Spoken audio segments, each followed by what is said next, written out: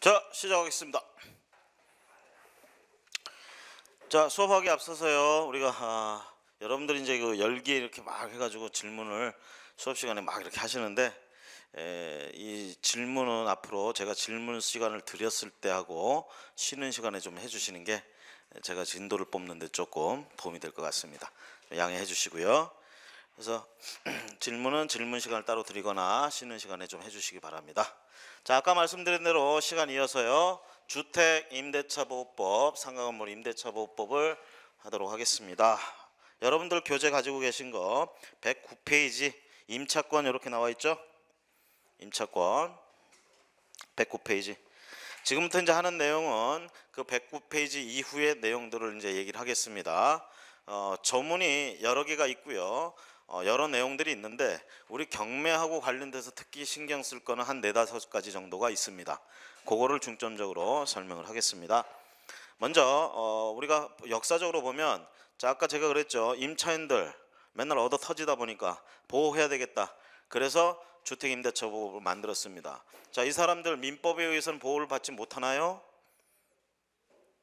민법에 의해서도 보호를 받죠. 근데 그 보호 작, 기능이 잘 작동을 안 되니까 지금 나온 거예요. 그러면 임차권이나 임차인, 임차인에 관한 이런 규정들, 이런 거를 일반적으로 규율하는 건 민법이에요. 그래서 우리가 민법 같은 법을 일반법이라고 부르는 겁니다. 특별히 누구한테 적용되는 게 아니라 모두에게 골고루 적용된다 일반법. 자 그런데 특히 임차인에게는 그 일반법 내용 말고 따로 좀 해야 될 필요가 있다 해서 법을 만들었어. 이런 법을 우리가 특별법이라고 부르는 거예요.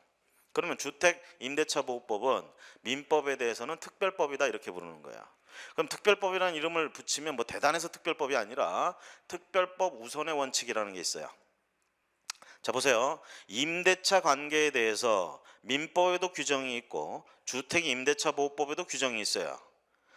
사안이 터졌을 때, 사건이 터졌을 때 판사는 법을 적용해야 돼.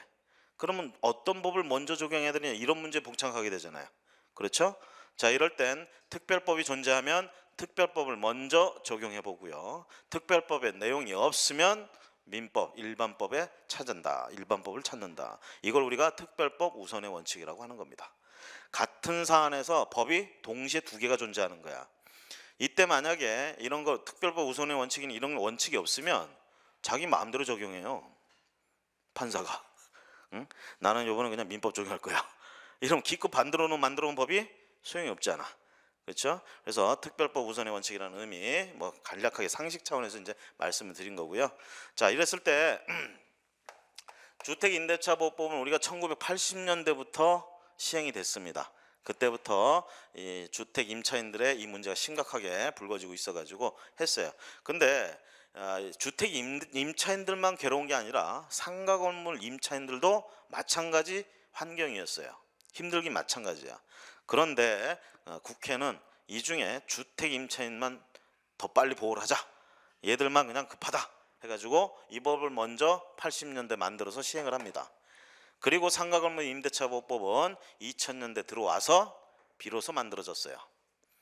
2002년인가 아마 그럴 겁니다. 그때부터 거의 한 20년 이상 있다가 만들어졌죠. 자식들이 맨날 골프만 치고 그냥 빨리빨리 해야 될 거 하고 문제였어요. 자 그래서 아, 여기 혹시 저기 국회의원하고 이렇게 많이 이렇게 친척이거나 이러신 분 계신 건 아니시죠? 아니시죠? 자, 주택 임대차 보호법을 만들어 놓고 나중에 한 20년 지나서 이제 상가 건물 임대차 보호법 만들었는데요. 이런 얘기를 왜 하느냐면 역사적인 얘기를 왜 하냐면 이 법이 먼저 만들어졌죠. 자, 어쨌든 지금 보호가 안 되는 애들을 보호하고자 민법의 체계하고는 좀 다르게 지금 뭔가를 하나 만든단 말이야. 그럼 처음 만들 때는 굉장히 어려워요. 어떻게 해야 되는지. 그렇죠? 고민도 많이 되고.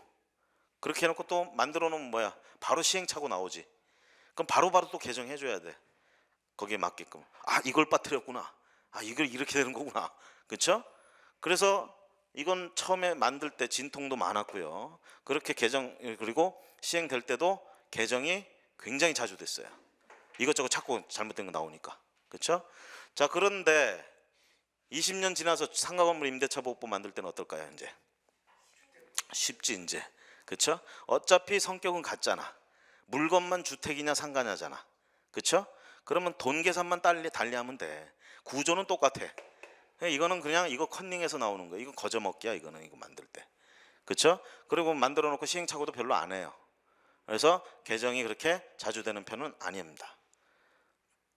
자, 이렇게 됐다라는 거. 그러면 주로 요걸 가지고 제가 설명을 하면 요거는 몇 가지만 이렇게 용어만 조금 다른 게 있어. 그렇게 하면 되겠죠. 여기서는 확정일자로 하는 건 여기서는 사업자 등록이라고 얘기해요. 아시겠죠? 그런 것만 좀 다른. 아, 사업자 등록에다 확정일자 받는다. 여긴 동사무소에서 받고 여긴 세무서에서 받는다. 뭐 이런 식으로. 이런 것만 좀 차이가 있는 거야. 그래서 요걸 위주로 설명을 하겠습니다. 자, 먼저 첫 번째. 이 법은 대상이 뭐냐 이거야. 대상. 물건 어떤 물건에 적용되느냐 누구에게 적용되느냐 이 얘기야. 누구에게 이 법은. 자 이름이 뭐예요? 주택 임대차 보호법이에요. 그러면 물건은 뭐겠어? 대상 물건은? 주택이죠. 여기서 이제 주택이라고 했을 때 이제 조심하실 게. 이 주택이 우리는 건축물 그러면요 되게 건축물 대장이 존재합니다 무허가 건축물이 아닌 한 그래서 건축물 대장에는 건축물은 우리나라에서 28가지 용도로 건축법상 이렇게 돼 있어요. 그렇죠? 그럼 거기에 이제 단독주택, 뭐 공동주택 이런 게 있단 말이에요. 그러면 건축물 대장에 이런 용도가 나오는데 이렇게 주택으로 나와야만 이 법에 의해서 보호를 받느냐 이 얘기죠. 그건 아닙니다. 실제로 주거용으로 쓰고 있느냐가 중요해요. 공부상엔 뭐로 나오느냐가 중요하지 않습니다. 심지어는 공장으로 나와도 공장으로 돼 있어도 주거용으로 쓴다는 게 인정이 되면 증명을 하면 주거용으로 인정 주택임대차보호법에 적용 대상이 됩니다. 그리고 또 하나 주택인데 무허가 건축물이 있어요. 또는 미등기 건물이 있을 수가 있어. 보존 등기 안 하고 건물주들이 있는 경우들이 있어요. 이거는 부동산 등기 특별조치법에 이런 거에 따르면 일정 기간 안에 등기 안 하면 뭐 벌금 물리고 이렇게 하는데도 불구하고 그렇게 하고 있는 놈들이 있어요. 왜 그러느냐? 등기하는 순간 어떻게 돼? 등기하는 순간 세금도 세금이지만 채권자들이 전부 이렇게 보고 있어요 지금. 채권자들이. 돈 안 갖고 있는데 채권자들이 요놈 부동산 있나 막 찾아보고 있단 말이야. 그럼 보전 등기 하는 순간 어떻게 되겠어? 바로 경매 들어가죠. 어? 그래서 채무자들 중에도 악덕 채무자들이 있어요. 그래서 이런 거 안 하고 있는. 자 어쨌든 간에 미등기 건물이 있을 수 있고요. 무허가 건물이 있을 수 있어 건축법상 건축물은 일단 기본적으로 허가를 받고 해야 돼요. 주택을 짓는 것도 마찬가지고. 근데 이런 걸 안 하고 하면 허- 무허가 건물이 되는 거예요. 그런데 거기서 내가 지금 주거 생활을 해. 그러면 주택 임대차 보호 보호를 받을 수 있느냐 이 얘기죠. 보호 받습니다. 이 법은 그렇게 강력해요. 물건이 어떤 용도로 등기돼 있, 등재돼 있느냐 이거 중요하지 않아요. 실제로 주거용으로 쓰느냐가 중요하고 그 다음에 이것이 무허가냐 미등기냐 이런 거 따지지 않습니다. 심지어는 여러분들 옥탑 아시죠? 옥탑. 옥탑이 제가 보기에는 한 10여 년 전입니까? 아, 고 노무현 대통령 정권 시대 때 옥탑을 갖다가 하도 불법적으로 이게 원래 옥탑이 안 되게 돼 있는데 다들 그냥 그렇게 해요. 그게 웃긴 게 뭐냐면 한 집이 옥상이 비어 있어요. 옥탑을 딱 하나 해서 전세를 놓잖아요. 그 옆집이 가만히 안 있어. 자기도 해. 돈 되는 걸 받거든. 그렇죠? 근데 이건 법상 못 하게 돼 있는 건데 다 한단 말이야. 그러니까 이건 뭐야? 전부 다 범법자예요 지금 한 마을 전체가. 어? 그러다 보니까 안 되겠다 싶은 거예요 지금. 그래서 그 정권 때 이거 전부 다 그냥 양성화 시켜줬어요. 허용해줬다고.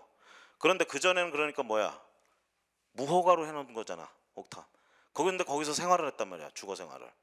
그랬을 경우 이 사람 주택 임대차 보호, 보호- 보호를 받느냐 얘기지. 보호 받아요 못 받아요? 지금 얘기했잖아. 무허가 미등기 다 보호된다고. 아시겠죠? 보호받습니다.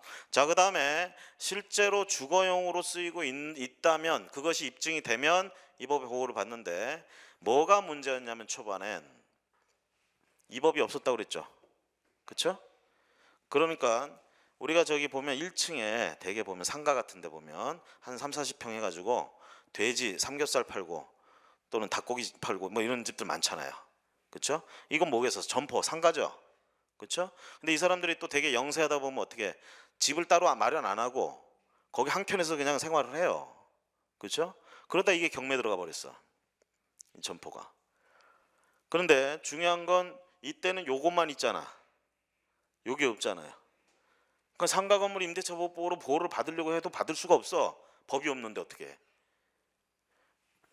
이거여야 보호를 받아. 그래서 이 사람들이 이제 주장합니다. 주거 생활로 썼다 난 여기. 그러니까 주택 임대차 보호법 적용해 달라. 이런 판례가 나오게 되는 거예요. 심지어는 여관을 운영하는 사람이 여관 한 층을 빌려 가지고 여관을 운영해. 그런 사람들도 있어요. 방 10칸짜리야, 여관. 그리고 자기는 총무실 해가지고 한 칸 딱 해가지고 딱 요구르트하고 이런 거 갖다 놓고 이렇게 있다가 들어오면 딱 갖다 주고. 근데 그 건물이 경매 들어갔어요. 그러니까 이 사람이 상가 건물 임대차 보호법이 있었으면 이 법으로 보호해달라고 했을 거야. 이 법이 없으니까 중요한 건 뭐겠어? 보증금이니 뭐니 좀 찾아야 되겠다 이거지. 그래서 얘기합니다. 나는 여기서 주거 생활을 했다. 그 좁은 방에서 밥도 해 먹고 어, 라면도 끓여 먹고 했다 이거야. 잠도 자고. 어? 그러니까 전체를 주택임대차 보호법을 적용해 달라. 이런 판례들. 이거 안 해줬어요 이거.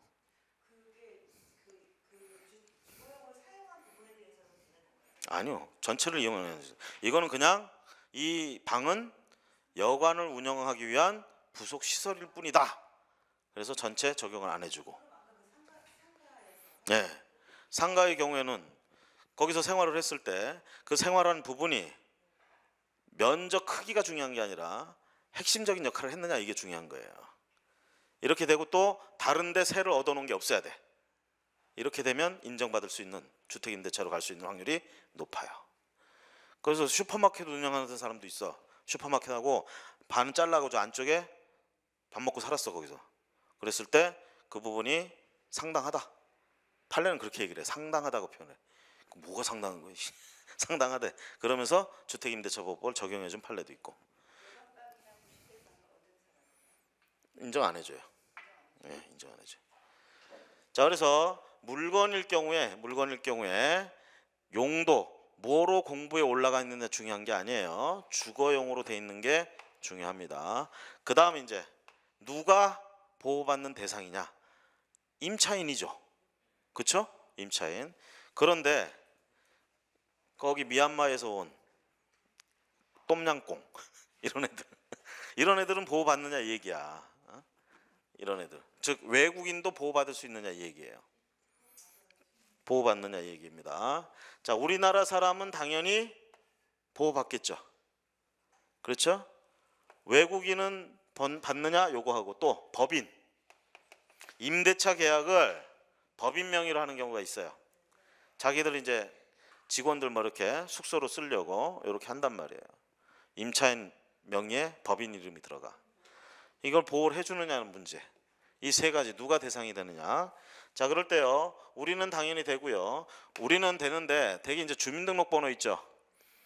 우리가 이 주택 임대차 보호법에서 아까 얘기했죠. 보호를 해주는데 핵심적인 건 뭐냐면 대항력이나 우선 변제권 이딴 거 주는 건데 그러려면 기준이 있어야 된다. 날짜가 있어야 되는데 대개 이제 주민등록 가지고 어찌 하는 것들이야.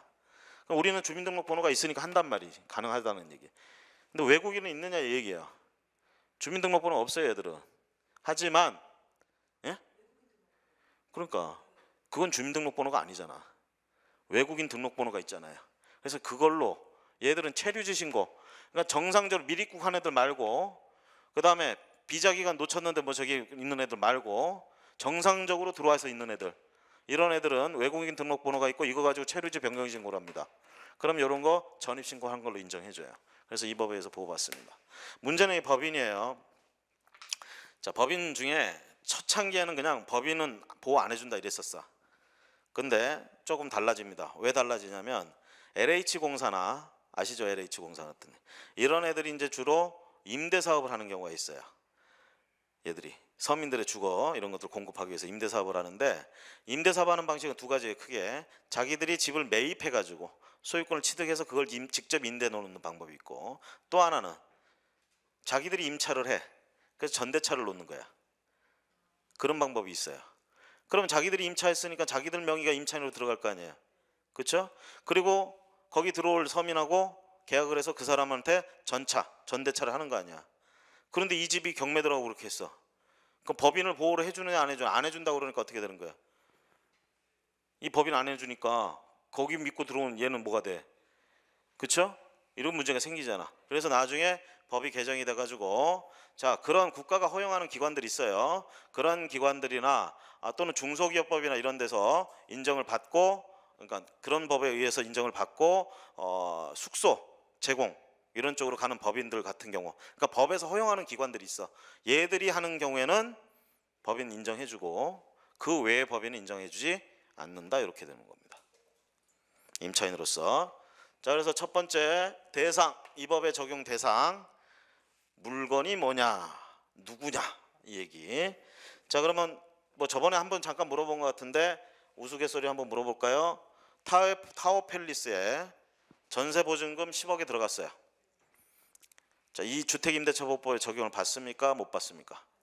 보호 받아요? 못 받아요? 첫날 내가 얘기했죠? 그렇죠 임차인 맞죠? 우리나라 사람이야 그리고 타워 팰리스 그 주택 부분 거기 들어갔어. 다 맞잖아. 그이 법에 적용을 받아요. 아시겠죠? 자, 그다음에 이제 두 번째 여기서부터 이제 핵심적인 내용, 중요한 내용. 자, 아까 뭐라 그랬어? 임차인들 뭐가 없어가지고 당한다 그랬어요? 대항력이 없어서 당하고 우선 변제권이 없어서 배당도 못 받고, 그렇죠? 그래서 일단 줄 게 뭐야? 대항력을 줘야겠지. 이게 기초야. 먼저 줘야 돼. 대항력을 주려면 그냥 줄 게 이건 아니죠. 너도 그냥 너도 주고 너도 주고 이거 아니에요. 주려면 뭐야? 기준이 있어야 되겠죠. 뭔가 하면 줄게. 하늘은 스스로 돕는 자를 돕는다. 너도 좀 뭘 해라. 그러면 도와줄게. 근데 그걸 좀 해라를 등기 해라 그러면 욕해버리죠. 안 되죠. 그래서 등기 말고 혼자서 할 수 있는 거. 임차인 스스로 할 수 있는 게 뭔가 찾아봤더니 전입신고예요. 전입신고. 이거는 누가 안 도와줘도 누구 서류도 필요 없어. 자기만 가면 다- 가서 하면 되는 거야. 주민등록법상 주민등록 한다 이 표현이 전입한다라는 표현입니다. 아시겠죠? 근데 요것만 하면 안 되고 현실에서는 인도가 있어야 돼요. 흔히 이제 이사 들어가는 거 이걸 인도라고 표현합니다. 이거. 자, 그런데요. 실제로는 실제로는요. 자, 요렇게 하면서 뭐라고 하냐면 요거를 다 갖춘 다음 날 이 길이라고 얘기하죠. 0시부터 대항력이 발생한다 이렇게 되는 거예요. 이걸 다 갖춘 다음 날. 이럴 수 있잖아. 이날 전입 신고하고 일주일 뒤에 이사 들어갔어. 이럴 수도 있잖아요. 아니 먼저 이사 들어가고 바빠가지고 전입 신고를 일주일 뒤에 할 수도 있고. 그랬을 때 대항력은 두 개를 다 갖춘 다음 날. 그러면 이 두 개 다 갖춘 때는 이때잖아요. 요거 다음 날 0시부터 이렇게 됩니다. 근데 실제 우리가 경매 이렇게 보면 이 날짜는 거의 거의 무시해요. 거의. 왜냐하면 이 날짜는 날짜가 있어도 믿을 수가 없어요. 이거 되게. 그래서 대개 이 날짜를 지금 봅니다 우리가 전입일 아시겠죠? 전입일 여기서 다음 날 0시라고 그랬어요. 다음 날 0시. 자, 어, 오늘 전입할 수 있나요? 못하죠. 일요일이잖아. 그렇죠? 자 평일날 전입인데 자 월요일날 전입을 했어. 이사도 이제 들어갔다고 합시다. 그러면 화요일날 0시 이때부터 대항력이 발생했다 이렇게 얘기합니다. 여기서 조심할 건 대항력이 발생했다라는 말하고 경매에서 대항력이 있다는 말하고는 달라요. 일단은 이 요건을 갖추면 대항력이 발생합니다. 그런데 이 임차인이 경매에서 대항력이 있는지 없는지는 다시 판단해 봐야 돼요. 그때 판단 기준이 뭐다? 말소 기준 등기다. 요거보다 먼저 이걸 갖췄으면 경매에서 대항력이 있는 거고 요거보다 늦게 갖췄으면 경매에서 대항력이 없는 거고 자 그럼 여기 한 이제 실례를 한번 볼까요? 자 아, 등기 얘기를 좀 먼저 했어야 되는데 안 했는데 나중에 하기로 하고 자 예를 들면 등기가 효력을 발생하는 날짜를 우리가 한번 생각해 봅시다. 등기. 등기 이제 우리 공시하잖아요 물건 그러면 언제부터 효력이 발생하느냐 이 얘기입니다. 예를 들면 저당권 등기를 월요일 날 했어. 신청했어요. 그럼 접수 이제 그날 됐겠죠. 그리고 등기관이 그 다음 날 기재를 했어 등기부에. 그러면 월요일 날부터 효력이 발생해요? 화요일 날부터 효력이 발생해요? 저당권 저당권은 접수한 때부터 효력 발생합니다. 우리가 이렇게 얘기를 해요. 등기부에 기재되는 것을 조건으로 접수한 때부터 효력이 발생한다. 뭐는 등기는 등기의 효력은 아시겠죠? 자 그래서요 우리가 접수된 때 그러니까 그날 그- 그날부터 효력이 발생한다 이렇게 생각하시면 돼. 자 그래서 예를 들어서 내일이 며칠 아니 월요일이 내일이죠? 며칠 몇 3월 7일. 자 3월 7일 날 저당권 등기 들어갔어요. 접수됐어. 아침 일찍 했으면 재수가 좋으면 그날 오후 5시나 6시쯤에 기록될 수도 있겠지. 그렇죠? 근데 얘들 업무상 보면 이거 이거 딱 되면 온라인상에 이게 뜹니다. 신청해 보면 등기 중이라고. 그한 일주일 가요 이거. 하루 그 다음 날은 다 맞췄어도 일주일 간다고. 자 어쨌든 더 저당권 등기는 나중에 됐다 하더라도 시- 접수는 여기서 됐어. 그럼 등기 되면 효력은 여기서부터 발생하는 거죠. 그렇죠? 몇 시부터? 몇 시부터? 접수한 때부터. 그렇죠? 몇 시인지 모르지 이제. 접수는 몇 시에 할지 모르지. 그렇죠? 그래서 몇 시부터 얘기는 없습니다. 접수한 그 순간부터 효력이 발생하는데 저게 이제 체킹이 돼요. 온라인 우리가 전산 입력을 하기 때문에 언제 접수가 번호가 이렇게 뜨고 할 수는 있어. 근데 어, 시스템상으로는 그게 되는데 그걸 크게 의미를 갖지는 않습니다. 하여튼 자 요때부터 효력 발생해요. 그런데 하필은 그 집에 이날 전입 신고했어. 이사 들어갔어요. 이날 이사까지 다 했어. 자 그러면 일단 이 임차인은 갑이 이날 전입 신고하고 이사 들어갔어. 이 임차인은 대항력이 발생했다 안 했다? 대항력이 발생했다 안 했다? 자 이게 이제 여러분들이 낯설은 이게 익숙치 않은 거예요. 대항력은 요건 갖추면 다 발생해요. 아시겠죠? 언제? 다음 날 0시에 발생해. 아시겠죠? 그럼 저거 언제 발생한 거예요? 3월 7일 날 접수했으니까 전, 전입했으니까 3월 8일 0시부터 발생하죠? 3, 3월 8일 0시부터 효력 발생했어요. 그러면 저 임차인은 일단 평상시에는 대항력 발생한 거야. 대항력이 있어요. 자, 만약에 이 상태에서요. 그냥 일반적으로 집주인이 다른 사람한테 팔았어. 이 상태에서 그냥 일반 매매를 했어요. 이렇게 되면 그 집을 산 사람, 이 산 사람은 갑이 있었다는 걸 몰랐어도 임대인의 지위를 고스란히 승계한 꼴이 됩니다. 그러니까 집 살 때 조심해야 되는 게 일반적으로 임차인 있는 점좀 확인해야 돼. 그러니까 뭐야 임대 임차인의 보증금 같은 거 매매 대금에서 어, 해결을 해야 되겠지. 그렇죠? 자 일반적인 매매일 때 일반적인 상황에선 대항력이 발생돼 있으면 일반적으로 이렇게 매매 집주인하고 뭐 매수인하고 이렇게 할 때 전부 다 인정받습니다. 새로운 주인한테 대항력이 있다 이렇게 되는 거예요. 일반적인 경우에는. 하지만 이게 경매 들어갔을 땐 얘기가 틀려진다는 얘기입니다. 경매 들어갔을 때는 말소 기준 등기를 찾고 그놈을 기준으로 해서 앞이냐 뒤냐를 따져봐야 돼. 여기 다른 거 없으면 말소 기준 등기 뭐예요 이거?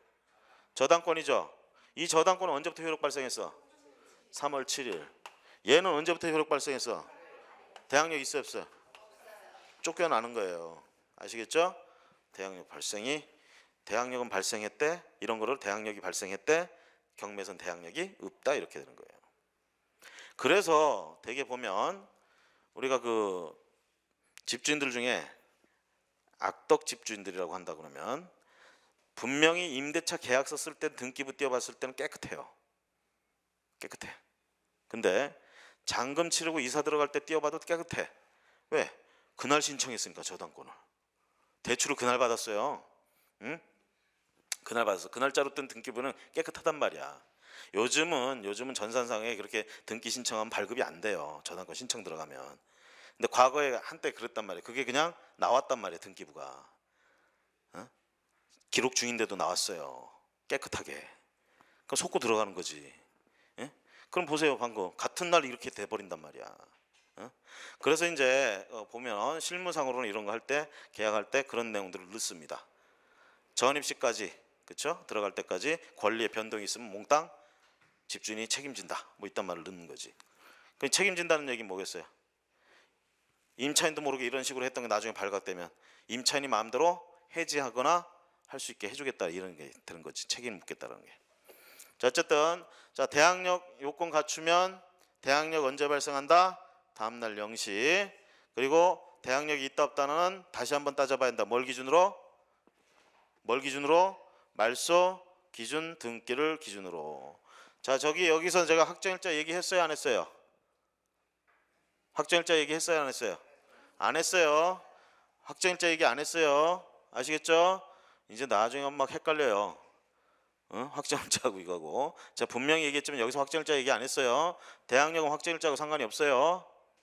자, 그 다음에 이제 대학력이 그렇고 세 번째. 자, 이거는 대학력이 있다. 이 대학력은요 주로 임차인의 주거 환경을 보호해 주는데 초점이 맞춰져 있습니다.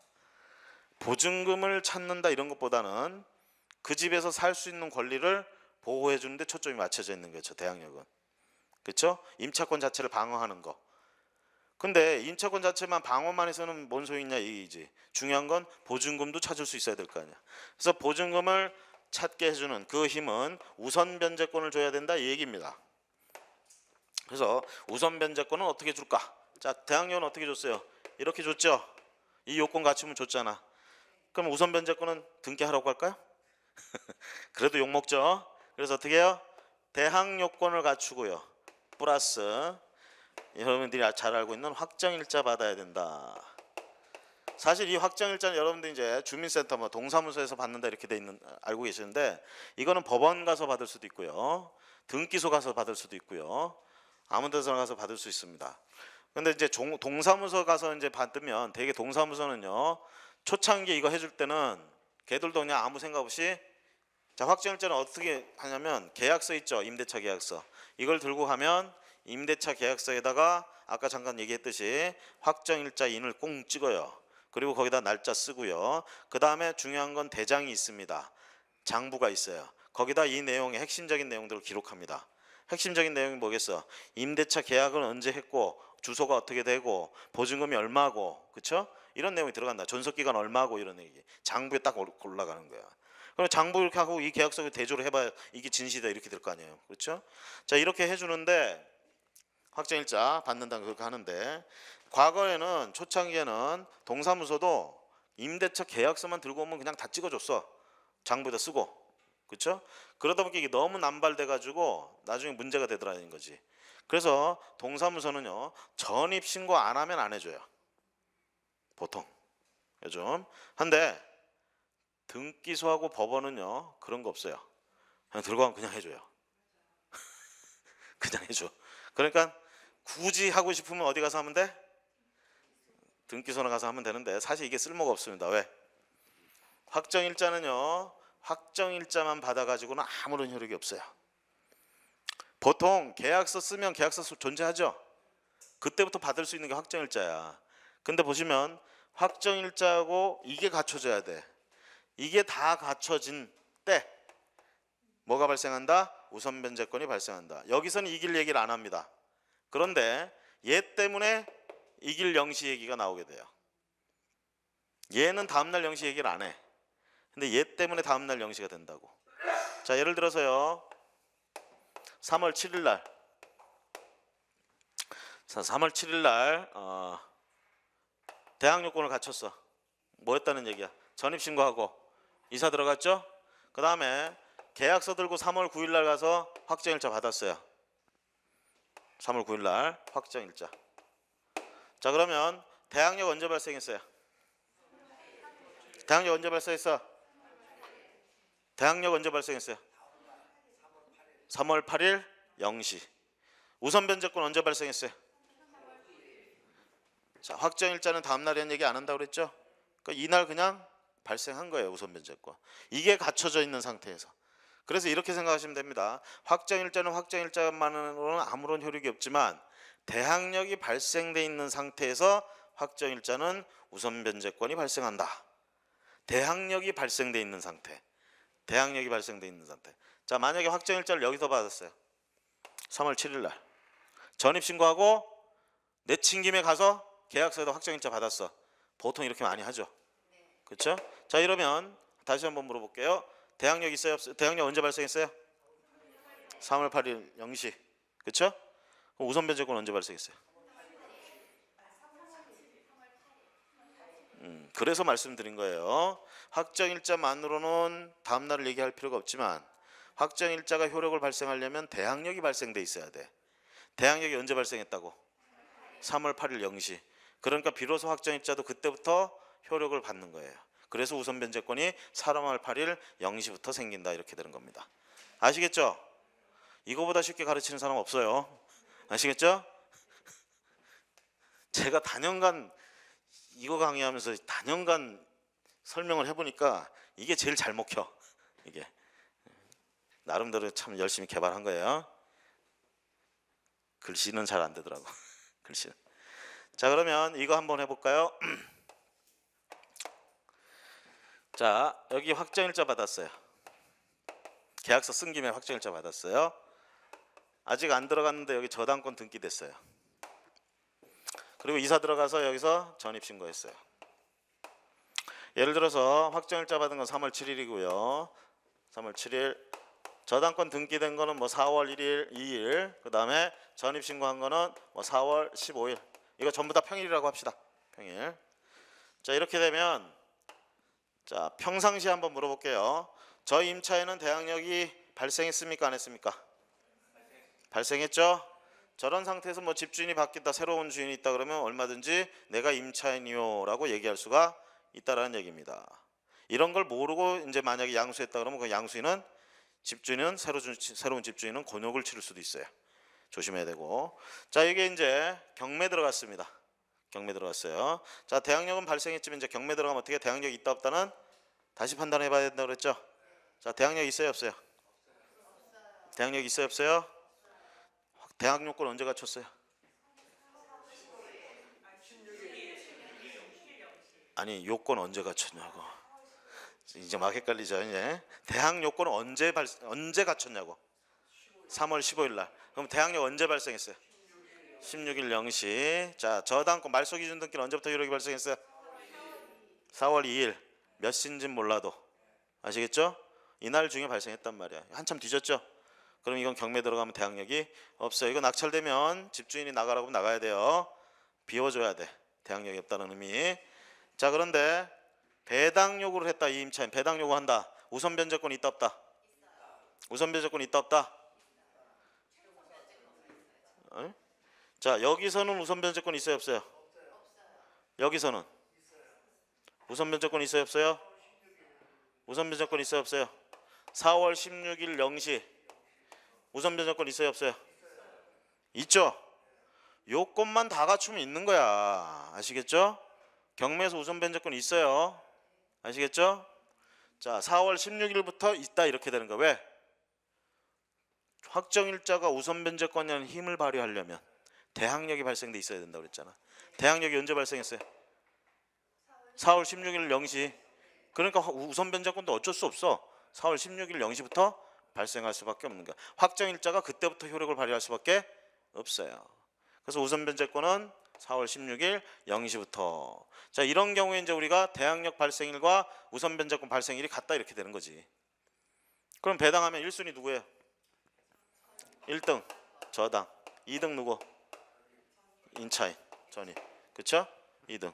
만약에 저 저당권 금액이 집값의 99%에 육박한다. 자, 그러면 전세권 임차인 어떻게 돼요? 자, 예를 들어서 낙찰 대금이 3억인데 저당 금액이 3억이에요. 임차인은 보증금 2억이야.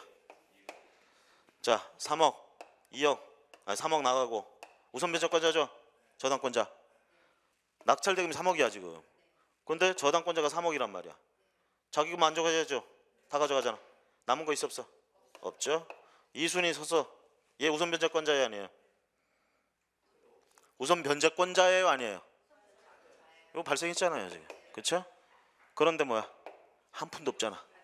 받을 돈이 없죠. 그렇죠? 자, 이 임차인 대항력 있다고 그랬어요, 없다고 그랬어요? 에?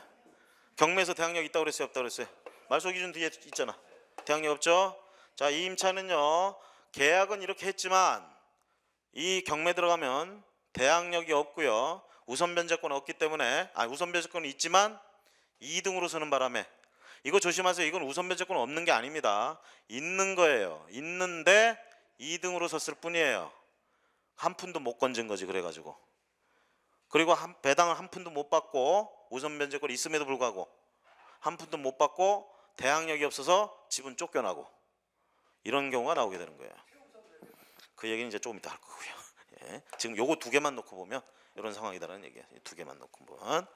자, 그래서 결론적으로 방금 말씀드린 것처럼 보호를 해주려고 막 이런 걸 줬는데 이렇게 돼가지고 재수 없게 당하는 사람들이 나온단 말이지.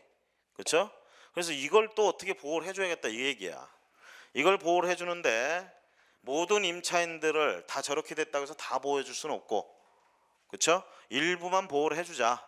그 중에 특히 없이 사는 사람들, 즉 어떤 사람들 없이 사는 사람으로 봤냐면 국가는 보증금이 적은 사람들, 보증금이 많은 사람들은요 저렇게 한 푼도 못 받고 쫓겨나도 다시 재생 능력이 되나 봐.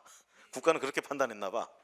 한 보증금에 한 10억 있는 애들이 10억 다 날려도 얘들은 금방 일어선다고 생각을 했나 봐. 그래서 얘들은 제껴. 제끼고 보증금이 예를 들어서 천만 원, 이천만 원 이런 애들. 이런 애들은 이거 날리면 다시 천만 원, 이천만 원 만들려면 죽을 돈을 써야 돼. 응? 힘들다 이렇게 본 거예요. 그래서 뭐라고 그러냐? 소액 임차인이라는 개념이 나옵니다.